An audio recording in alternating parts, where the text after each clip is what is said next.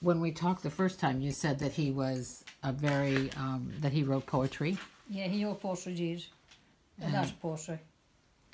and and he died at 103. 103 days, 103 years. And and what about Catherine Gilday? Gildee. She was, she did the farming. She did the farm. She did all the farming. You see, he was a, he taught he- what they call hedge school in his day. Oh. You know, that's when there were no national school. And it said that he was a surveyor. He was a land surveyor. and what did that mean? It meant that um, if people were selling land now for someone to put plant potatoes and things in it, that he'd uh, measure it for them and know what they sold and everything like that. So so Catherine did all the Yeah, farming. She did all the farming. and went to the fairs. Really? She Isn't She went to the fairs and all the, to sell the stock, whatever they'd have. that's unusual, isn't she it? She did everything, yes. She did. Is that unusual? Mo- Most. Yeah. And did any of the boys stay to help, or they all left to go to America? They were all gone, mostly all gone to America at that time. Yeah. Well, So then, your father married into this farm. Is that the way it worked? no, my father lived down the road about a mile from here and he married my mother. And where did they live? Just about a mile down the road from Oh, here. that that was The your ho- home place. Now, yes, the house is all.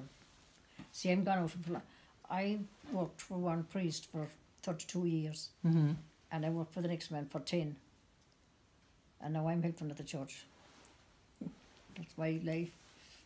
And how far away is the church? It's on down the road there, just just a bit down the road. We passed it coming. You passed it coming up. You yeah. did, you did. The man from whom we asked directions, I said, "Is is she before? Is the house before or after the Blessed Virgin?" He said, "She has the." She has the Blessed Virgin all to herself. Oh, who was that now? Where'd There's you man meet who him? was standing across the road there. Huh? He was going from one side of the road to the other, Burns. Oh yeah, he's Malik. um, Yeah. Oh yeah, And I said, "Well, good, good woman. yeah, yeah.